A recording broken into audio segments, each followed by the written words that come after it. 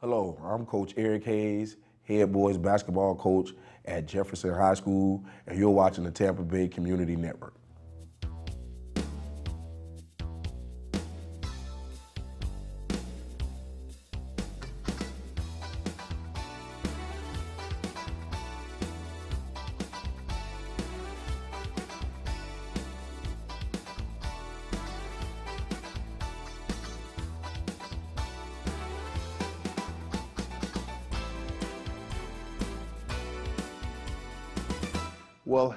Tampa Bay, and welcome to the Tampa Bay Community Network Sports Talk. I'm your host, Coach Chuck White, and my guest is Coach Eric Hayes. Coach Hayes is the boys' head basketball coach of Jefferson High School Fighting Dragons, and he's been coaching overall for 14 illustrious years and three of those has been at Jefferson High School. But first of all, let me just say, Coach Hayes, welcome to the show. What is it about coaching that you've always enjoyed? But uh, first of all, I want to commend you for all of the things that you have enjoyed uh, as a coach during your 14 years experience.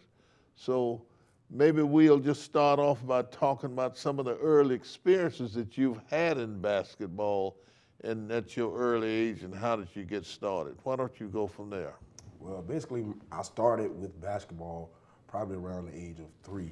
Uh, my father would take me to basketball games with him. So back then, I don't think I knew too much about what was going on, mm-hmm. but I knew I got a chance to spend time with my dad. Plus, I got a chance to go to, go to the concession stand and different things like that. uh, but over the time, uh, I guess as years progressed, uh, I couldn't run around and play, so I had to sit next to him. So eventually, I started watching and taking a liking to it, and it, you know, it just grew the more I was around the game. Well, I might say you probably like that concession stand about as well as much as the basketball game. Definitely in the early years. So that's the thing that motivated him to keep you calm while you went to the game. Yes, sir. So was that a real good experience or was it a bad experience for you at the time? Uh, it was a great experience. Like I said, uh, I took a liking to sports at a very young age, not only uh, basketball, but other sports as well.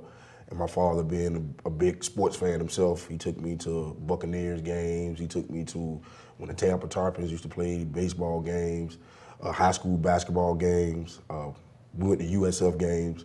Uh, so he, he took me to a lot of different sporting events and just that I guess my his love for sports kind of uh, engulfed me as well, and I became a person who loved all sports. Tampa Tarpons, wow, that's that's going back some time. Mm-hmm.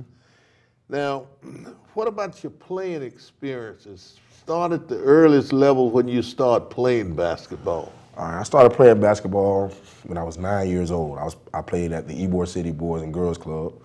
Uh, the Jose Linazzo branch. That was, that's what it was called before it was closed down. Uh, my first coach, his name was Buford Mills. Mm-hmm. Uh, he coached me when I was nine and ten, and then Coach Bobby Wiles became my coach mm-hmm. my next couple years because I played small fry basketball for him. So that is how I got started in the game. I didn't know very much about Coach Buford or whomever, mm-hmm. but Coach Bobby Wiles, he is still the talk of sports today. He had he did it in football yes, and basketball. And Bobby was a great player himself. First of all, at Blake High School, yes, sir. he both played. He played both football and basketball. So I guess it carried over into his coaching. Yes, sir. Did you enjoy the type of coaching Bobby did, or did you have? Did he put the fear?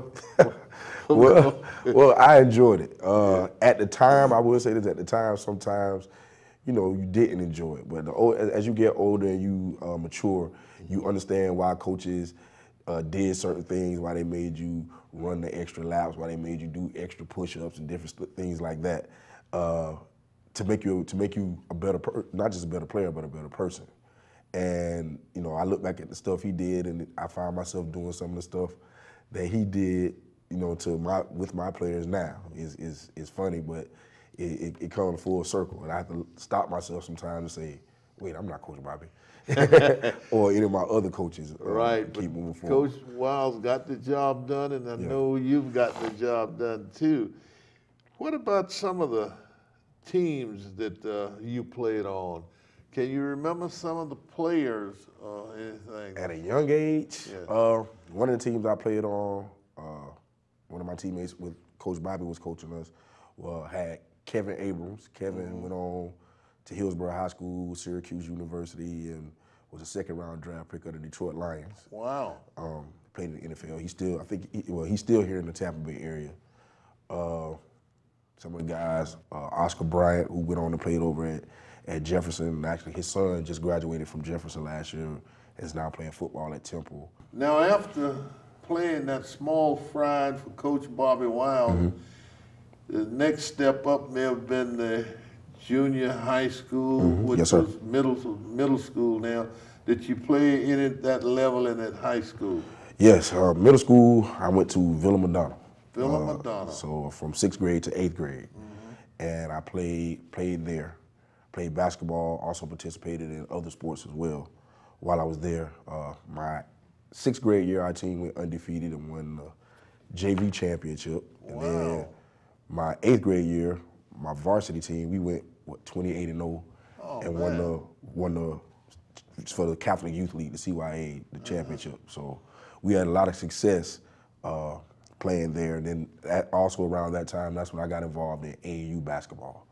So my eighth grade year, I played for a team called Team Tampa. It was an AAU team. It was 15, I think it was 15 and under or 16 and under, but I was the youngest person on the team. Pretty much everybody on the team was Yeah. either in ninth grade or they were in 10th grade, and I was the youngest player on the team. So that was a very good experience for me. By being the youngest, you probably also might have been probably one of the top players at that time. Well, actually, in my mind, I thought I was, but uh, I talk, talk to my players about it all the time. I didn't. I was one of the last people on the bench. Uh, some of it I think is because I was the youngest. I was. I guess I could play a little bit, but because some of the kids were older, I, I don't think that they thought that I could handle it. I guess you could say.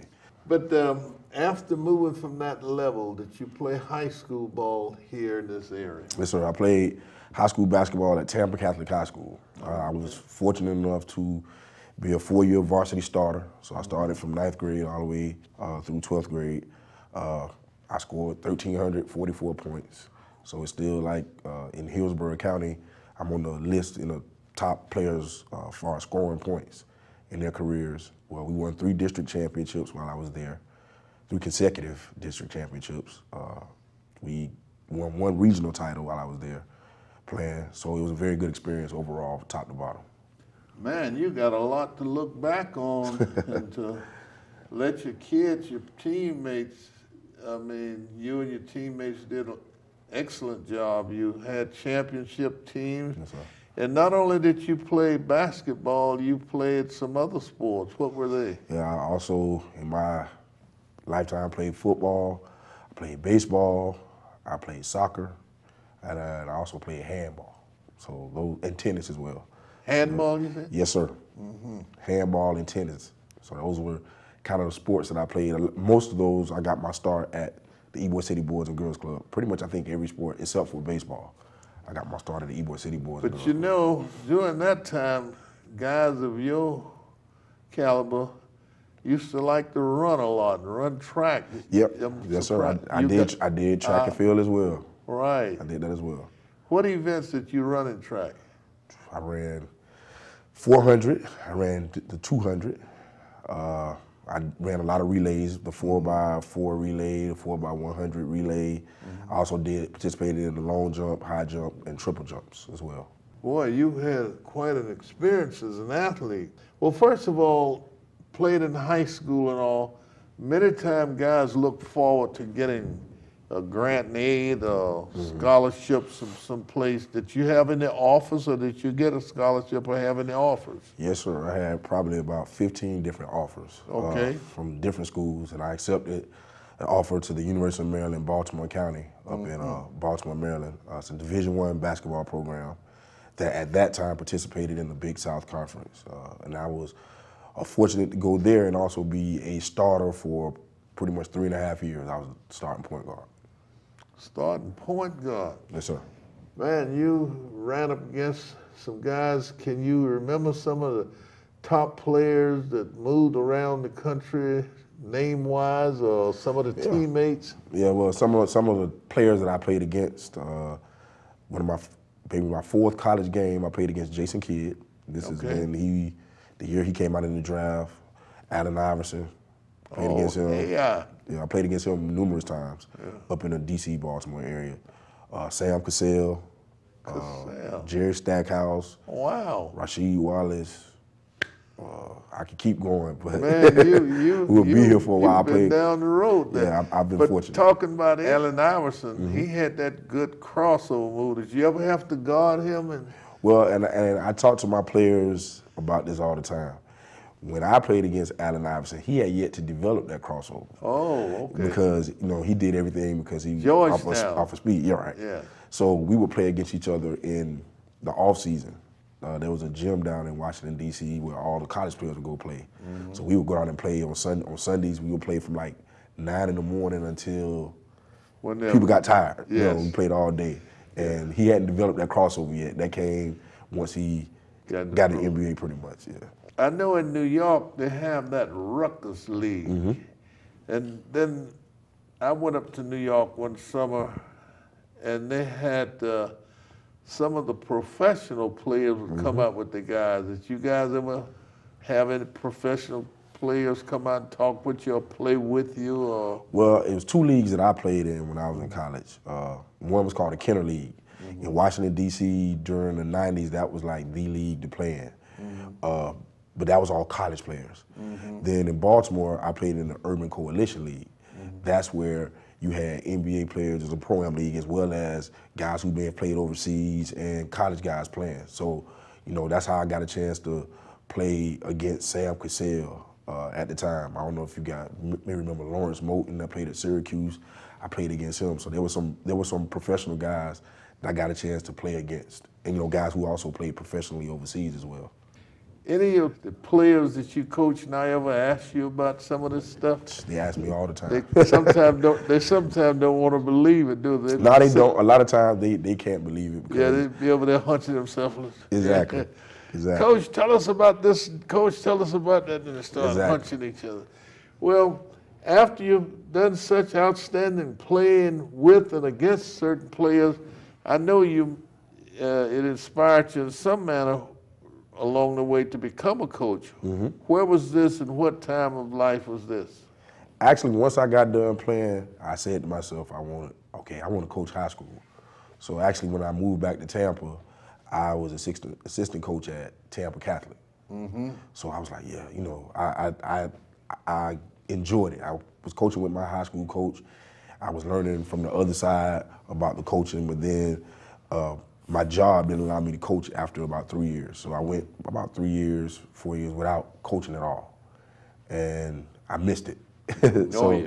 how I got back into it, I was asked to coach uh, an 11 and under AAU team. Where was this? That was here, here in Tampa. Uh, what the- what the- specific area? The YMCA? well, no, it was the it was the Florida Elite.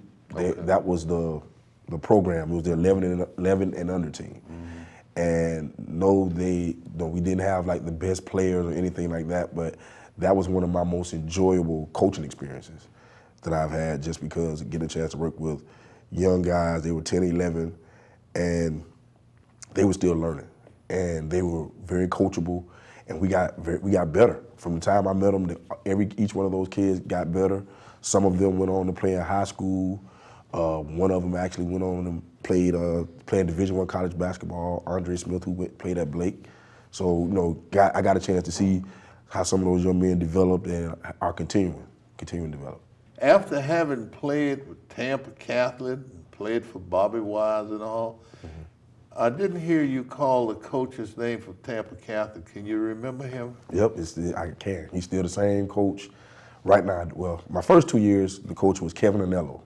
He was the coach my first two years, and my last two years it was Don DeZagua, who's the present coach at Tampa.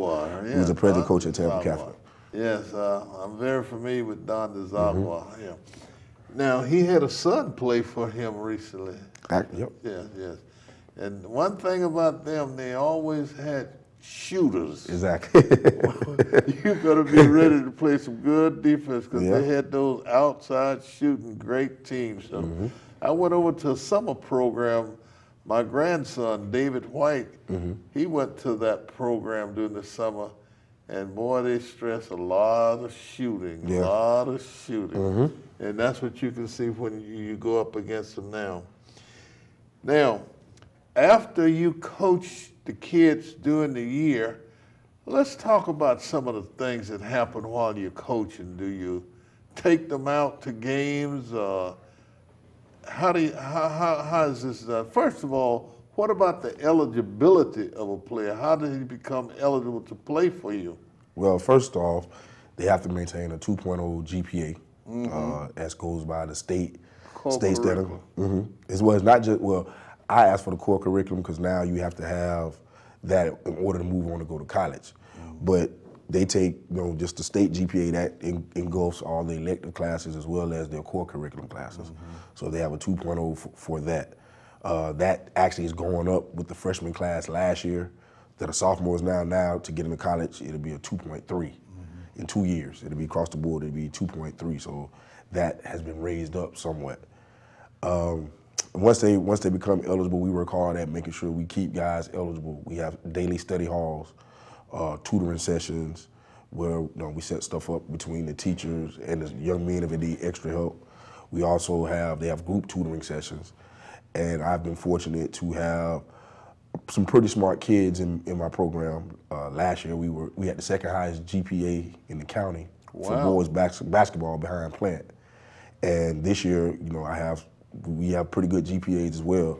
So we use a lot of in-house tutoring. Um, for example, yesterday I had one of my players who's reviewing for an Algebra 2 in the course exam. He had one of my kids who took the course last year who's actually helping him. So we do a lot of helping each other as well. Now, when the players finish playing after senior year and coaches come around to talk with them, mm-hmm. do you advise a kid to have the scouts come through you first or you sit and help them plan certain things? What part do you play there? Do you play a part, a role? Do you talk with the parents? Talk to us about that. Well, I do play a role. Um, some some coaches have contacted myself. Um, some coaches have actually reached out and contacted the boys. But one thing is, the boys all come back and tell me, Coach, th- this coach contacted me, and they ask me questions about you know what they should, what they shouldn't say, what should be going on. Uh, they sometimes ask me about the school. But uh, you know what I always tell them when they ask me the questions, you guys have a computer, go in there, type in the school name, hit enter, and you can see and hear uh, and whatever you want to know about the school, you can find out uh, pretty much at the touch of touch of a fingertip. Uh, we also involve the parents in that as well because we want them to understand what's going on because nowadays a lot of parents aren't educated on what's going on. So each year, uh, beginning of the year, I have a parent meeting, and I kind of go over all the NCAA regulations. I give them a copy of the, the the handout that I use to see if the guys will be NCAA ready, things along those lines. Just try to, to educate the parents so they understand a little bit once that uh, once that time comes. Now, I have read a lot about players in basketball getting overexhausted and falling out, and sometimes players have gone to glory and lost their lives. And uh, do you have anything to guard against him being overexhausted or falling out at practice? You have any defibrillators or anything like that? Uh, we have one right right in my office. We have a defibrillator. If something happens, I have access. I've been trained, as well as my entire coaching staff, as to how to use it uh, and what should be done in those situations. We try to, within my practice, we have built-in water breaks that are built into the practice.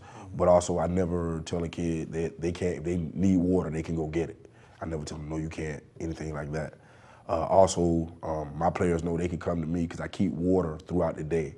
So they come to me, coach, can I get a bottle of water? And I give them a bottle. So they have water anytime during the day. They can just come to my classroom or after school, after practice, before practice. They can come. If they get hungry, they can get peanut butter jelly sandwiches.